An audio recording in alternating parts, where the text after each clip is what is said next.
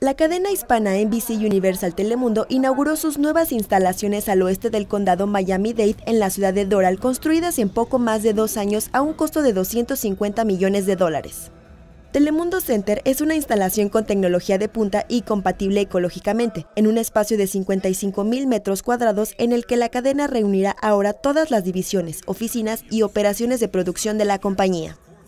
Telemundo Network, Telemundo Studios, Telemundo International, la cadena de cable NBC Universo y todas las operaciones de medios digitales estarán ubicadas en estas instalaciones que incluyen 60 oficinas, 15 estudios de producción de TV y un centro de noticias de nueva generación.